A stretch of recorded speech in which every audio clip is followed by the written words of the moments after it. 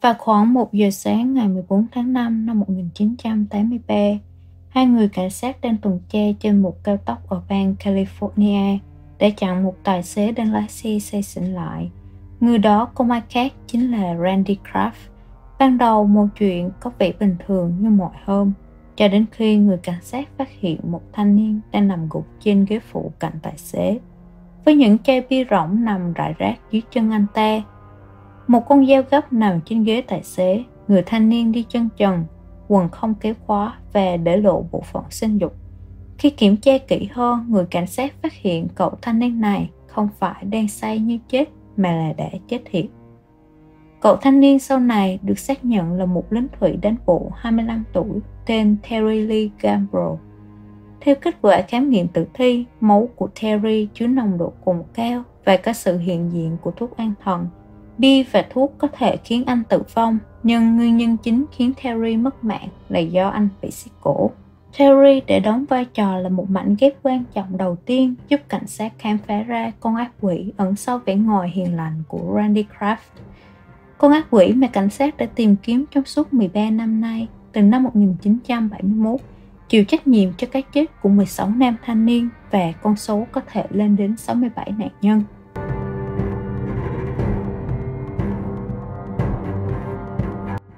Randy Kraft sinh ra tại thành phố Long Beach, California vào ngày 19 tháng 3 năm 1945, là đứa con trai út trong gia đình có ba người con gái.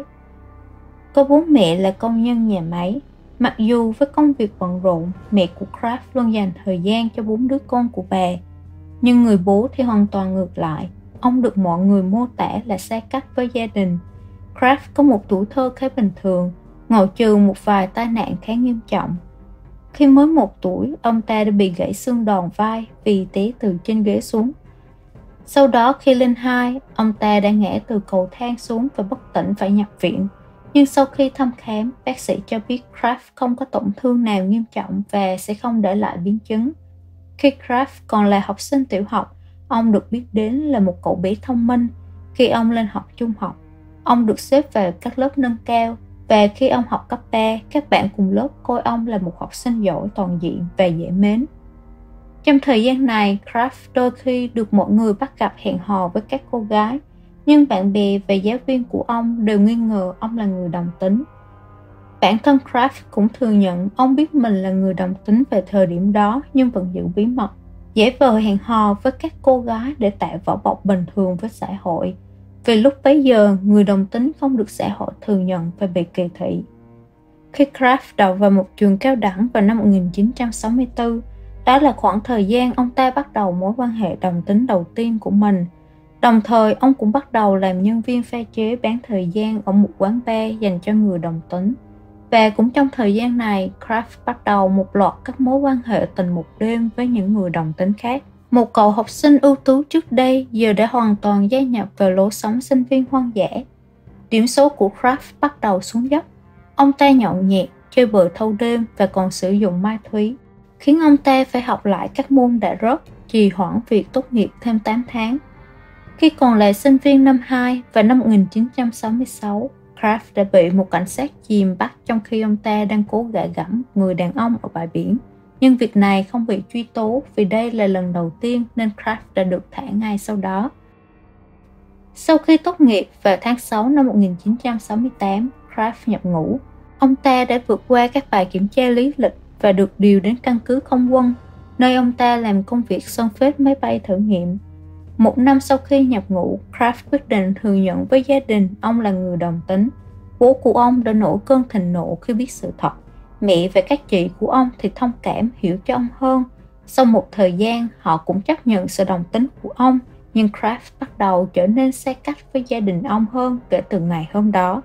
Và cũng như gia đình ông, những người xếp trong quân đội cũng không chấp nhận điều này.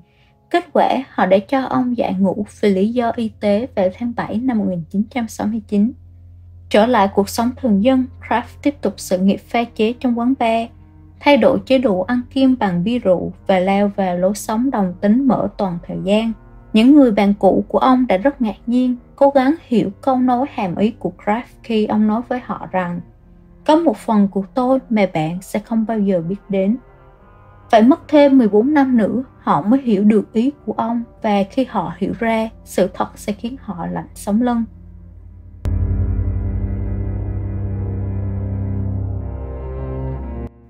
Hành trình tấn công tình dục của Kraft bắt đầu vào tháng 3 năm 1970 với một cậu bé 13 tuổi tên Joseph Venture. Kraft gặp cậu bé trên bãi biển trong lúc cậu đang bỏ nhà đi.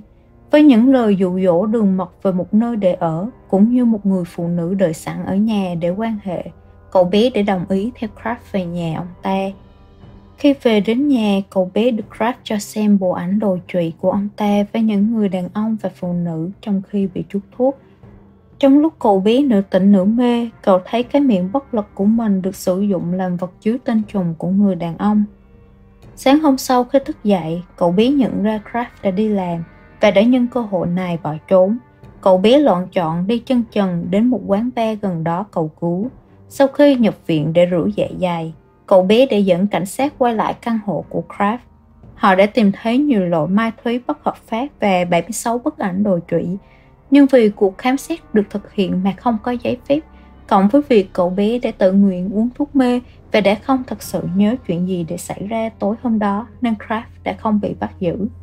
Vào năm 1971, Kraft tìm được một công việc ban ngày tại một nhà máy nước đóng chai, còn ban đêm thì tiếp tục dạo quanh các quán bar dành cho người đồng tính. Cũng vào thời điểm này, Kraft nghe theo lời khuyên của người chị kể, đã đăng ký vào một trường đại học để lấy bằng làm giáo viên – nhưng ham muốn tiệc tùng đã lấn át tham vọng học vấn của ông ta. Cũng chính tại trường đại học này, Kraft đã gặp người tình lâu dài đầu tiên của ông ta là Jeff Brave. Mặc dù đã có người yêu, nhưng Kraft vẫn sống đúng với danh tiếng của mình, đi dạo quanh các quán bar dành cho người đồng tính để tìm những người đàn ông xa lạ và đặc biệt rất hứng thú với những thủy thủ lục chiến. Vào ngày 5 tháng 10 năm 1971, cảnh sát tìm thấy thi thể khỏa thân đang phân hủy của một người đàn ông bên cạnh đường cao tốc. Thi thể được xác nhận là Wayne Duquette, một người pha chế rượu đồng tính 30 tuổi, người đã mất tích trong 2 tuần. Quần áo và đồ đạc cá nhân của Quan không bao giờ được tìm thấy, và anh là nạn nhân đầu tiên.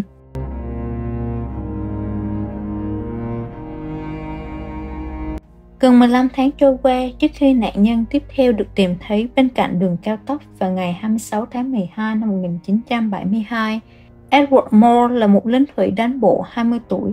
Thi thể của anh được tìm thấy trong tình trạng không đeo dây nịch, không mang giày và chỉ đi một chiếc tất. Chiếc tất còn lại thì được nhét vào hậu môn.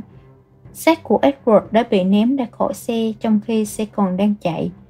Trước khi chết, anh đã bị đánh vào mặt bằng một vật cùng, có thể là một cái ống, và nguyên nhân tử vong là bị xiết cổ. Ngoài ra, trên tinh hoàng còn có những vết xước do móng tay rây ra và một vết cắn trên dương vật. 6 tuần sau, vào ngày 6 tháng 2 năm 1973, một thi thể khỏa thân không rõ danh tính được tìm thấy ở gần cao tốc. Nạn nhân tầm 18 tuổi và chết do bị xiết cổ khoảng 1-2 ngày trước đó với một chiếc tóc bị nhét vào hậu môn. Hai tháng sau, vào ngày lễ phục sinh, một thi thể nam giới khác được phát hiện trên đường. Lần này thi thể có mặc quần áo và mang đủ hai chiếc tóc nhưng không có giày, cũng ở độ tuổi 18 với dương vật và tinh hoàng bị cắt đứt khoảng 15 phút trước khi chết. Nạn nhân cũng đã bị xiết cổ và xâm hại.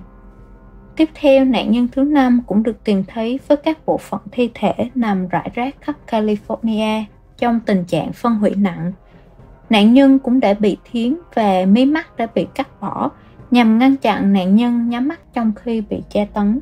Các bộ phận cơ thể cũng có dấu hiệu đã được cất giữ trong tủ lạnh một thời gian trước khi bị vứt đi. Bàn tay của nạn nhân không bao giờ được tìm thấy. Và cứ thế, Kraft tiếp tục cướp đi mạng sống của thêm 62 nạn nhân nữa, cho đến ngày ông ta bị bắt giữ vào năm 1983 Ông ta nhắm vào những nam giới da trắng ở độ tuổi từ 13 đến 35 tuổi, thường là những người đi nhờ xe, những kẻ bỏ nhà đi bụi hoặc những người đàn ông mà Kraft gặp ở quán bar dành cho người đồng tính. Ông ta phần lớn thực hiện tội ác ở California, tuy nhiên cũng có một số nạn nhân ở các bang khác như Oregon và Michigan. Do công việc của Kraft là một kỹ thuật viên máy tính cho phép ông ta đi công tác Sau khi dụ nạn nhân về trong xe, ông ta sẽ chuốt thuốc hoặc chuốt say họ.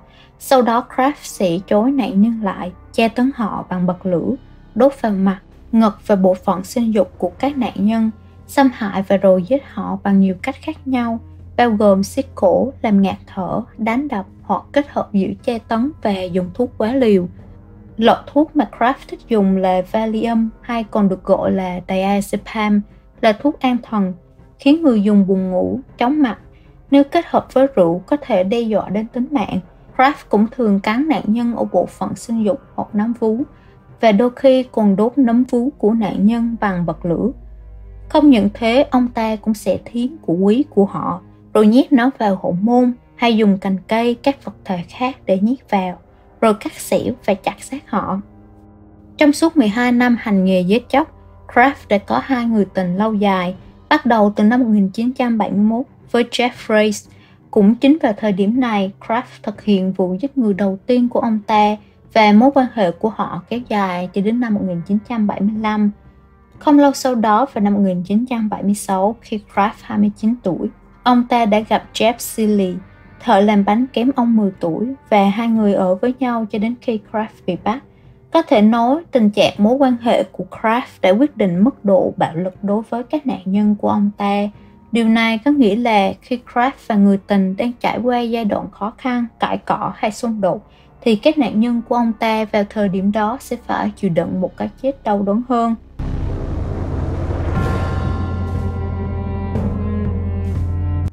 Hành trình giết chóc của Kraft buộc phải dừng lại vào rạng sáng ngày 14 tháng 5 năm 1983 sau khi bị cảnh sát bắt giữ vì lái xe trong tình trạng say xỉn với một cái xác bên cạnh. Sau khi khám xét kỹ chiếc xe, cảnh sát đã tìm thấy nhiều loại thuốc giảm đau, 47 bức ảnh chụp những thanh niên khỏa thân trong tình trạng bất tỉnh hay đã chết.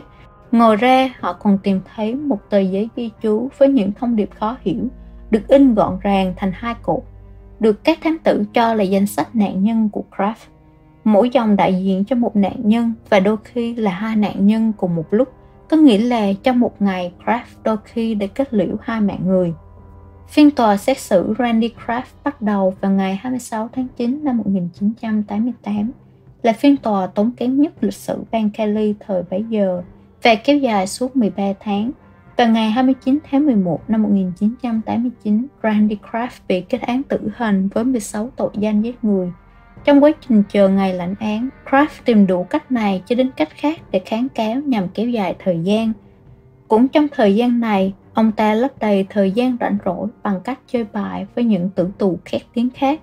Cho đến ngày nay, Kraft vẫn đang thụ án trong nhà tù bởi vì các vụ hành quyết đều đang bị hoãn lại ở Kelly từ năm 2006 vì nhiều lý do chính trị khác nhau. Và cho đến tận ngày nay, Kraft chưa một lần nào thừa nhận ông ta có tội. Ông ta đã nói là mình không giết ai cả, cũng như chưa bao giờ đưa ra bất kỳ lời giải thích nào. Lý do gì ông ta lại làm vậy? Cũng vì do sự cứng đầu hèn hạ của bản thân ông ta, chúng ta sẽ không bao giờ có thể biết chắc chắn Kraft đã giết hại bao nhiêu người đàn ông, cũng như liệu ông ta có đồng lõa không, vì trong một số vụ các nạn nhân bị sát hại và vứt xác để cho thấy việc này không thể do một mình Kraft làm mà cần có hai người.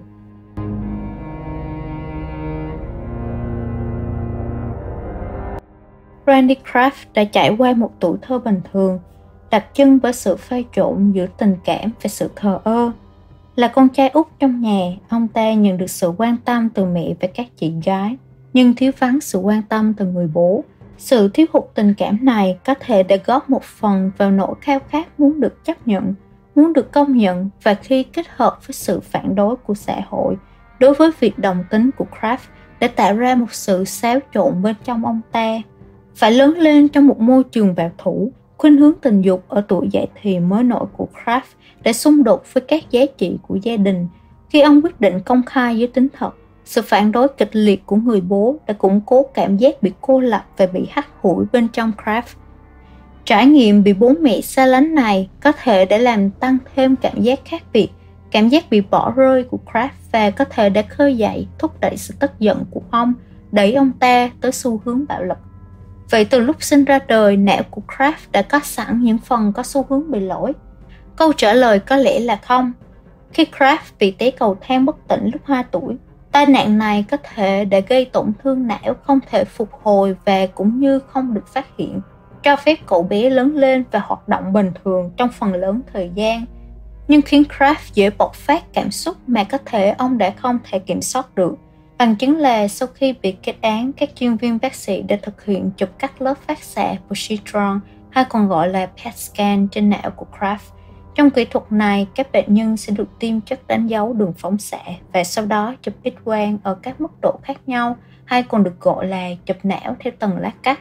Hình X quang sẽ cho thấy các điểm nóng và lạnh bên trong não nơi hoạt động điện có thể nhanh hoặc chậm. Trong hình chụp của Kraft, bác sĩ đã phát hiện ra hoạt động điện chậm chạp ở một số phần của thùy chán, nơi kiểm soát sự phán đoán của một cá nhân, nhưng ở các phần của thùy thái dương, nơi chi phối cảm xúc, xung lực và ham muốn tình dục, hoạt động điện cao bất thường. Hai hệ thống này mất cân bằng. Hệ thống lập kế hoạch, phán đoán bị giảm đi và hệ thống cảm xúc được tăng lên. Sự mất cân bằng này cộng với tác động gây căng thẳng, ức chế, tức giận từ môi trường đã định hình những lựa chọn và hành động của Kraft, đẩy ông ta đến bạo lực không thể kiểm soát. Kraft đã được nuôi dạy trong cái xã hội, trong cái thời kỳ mà những hành động đồng tính luyến ái là điều ghê tởm. Vì vậy, nhu cầu muốn được nam giới chú ý, yêu thương của Kraft đã khiến ông ta cảm thấy ghê tởm bản thân. Hành động thiến của quý của nạn nhân, rồi nhét vào hậu môn không chỉ là thú vui trong trò chơi tình ái mà nó còn cho chúng ta thấy ông ta ghét cái sự thật là ông ta thích nam giới. Việc thiến họ một phần nào đó giúp họ không còn là nam giới nữa. Kraft đứng giữa ranh giới, giữa yêu và ghét sự đồng tính của bản thân. Ông ta đã chút sự ghê tởm, căm ghét đó lên các nạn nhân. Trong tiềm thức của Kraft, việc hủy hoại các nạn nhân sẽ giúp ông ta hủy hoại luôn sự ham muốn của chính mình. Và điều đó sẽ tạm thời giúp ông không còn ghét bản thân nữa và rồi cứ thế, điều này trở thành thói quen khi Kraft lên cơn, ông ta lại tìm kiếm con mồi để giải tỏa căng thẳng.